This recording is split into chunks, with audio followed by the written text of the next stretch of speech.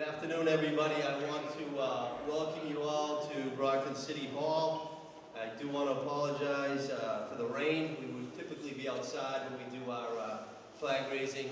Uh, today is Bolivian Independence Day, uh, and again, as you know, the city of Brockton has always been made up of wonderful, wonderful diversity uh, from all around the, the world. And so today we honor all of our Bolivian residents and Bolivian business owners that have made an indelible mark on our city of champions. I do want to uh, thank the elected officials that are here. We have Judy Sullivan and Tim Sullivan, not related, from the uh, Public Schools, the school committee, two really dedicated public servants. So Judy and Tim, thank you for being here today. You know, we do, uh, we do a lot of these flag raisings to, again, memorialize and thank diversity in our city, and BCA comes every single one. So I want to thank Brockton Community Access for always supporting us so today we celebrate the country of Bolivia and the Independence Day, August 6th in the year 1825. Uh, after 16 years of war, Bolivia finally defeated the nation of Spain and gained its independence. Bolivia, if you don't know, because I needed to look it up, is a landlocked country in western Central America. I didn't know it was landlocked. Bolivia is historically deemed a, uh, a lower uh, economic country, it currently has the fastest fastest growing economy and business in all of South America. It really is on the rise. Bolivia's main economic activities, other than agriculture, are forestry, fishing, mining, manufacturing goods as textiles, clothing, refined metals, uh, and also refined petroleum and gases. Uh, the nation is very rich in minerals including lithium, copper, and silver.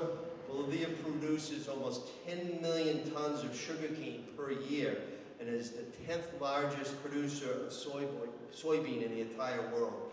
Other products uh, manufactured and, and, grown in, in, the, uh, in the nation are potatoes, bananas, rice, and wheat. Bolivian flag, which we're probably going to raise in just a moment, is a horizontal tricolor of red, yellow, and green the Bolivian coat of arms in the center of the flag. The red stands for Bolivia's brave soldiers that have paid the ultimate sacrifice during their independence battle, the green symbolizes fertility and the fertility of the nation and the growth of all the uh, economic uh, fruits and vegetables that are grown there. And finally, the yellow is the nation's mineral deposits, which we talked about a little bit earlier. Of course, in the center, what, what memorializes the flag itself is the coat of the arms of the country of Bolivia. So today, in terms of diversity, when I became mayor, I've said this many times, when I became mayor, I, I wanted to showcase all different uh, residents and business owners in our fine city. And so when you walk into the mayor's office, it, uh, it might have my name up there, but this is the people's office. You walk in, you'll see all the flags up there. Uh, they get flipped out quarterly, um, but again, we have purchased uh, to date over 72 flags from around the world that uh, indicate people that live in the city of Brockton or work in the city of Brockton, and again, that make our city of champions what it is. So today, the official mayoral proclamation reads as follows. Whereas after valiantly fighting the Bolivian War of Independence for 16 years, uh, Bolivia became free from Spanish rule on August 6th in the year 1825. Whereas Brockton's greatest strength is in our diverse population of our residents and our business owners and those that have come and immigrated from Bolivia.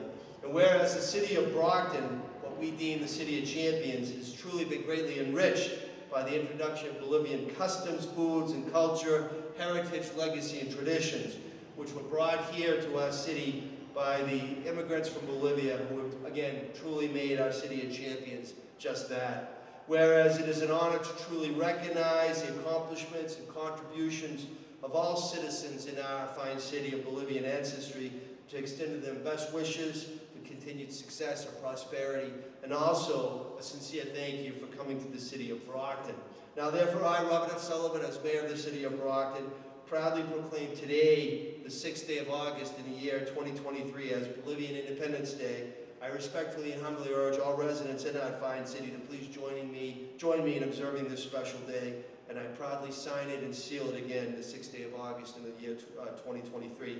Want to also, yeah, give a clap. That was good. I want to thank uh, the city clerk, Tim Cruz, who doesn't, he never misses a flag raising. I want to thank all the department heads and employees uh, of the city and schools that are here. I want to thank Brockton Police for always supporting us, keeping the, uh, the citizens and business owners safe as they protect and serve. And I want to thank those that are visiting us today. At this time, I would uh, respectfully ask you to join me, and we're going to raise the flag of Bolivia. So let's- How are you?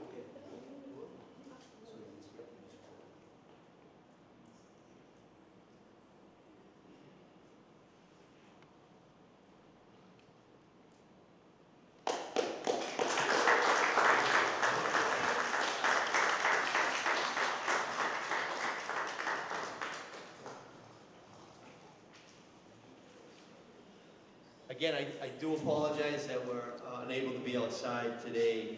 Um, Next year, we uh, will have a sunny day, but I wanted to also, I wanted to present this to you. Oh, that's so nice. Thank you.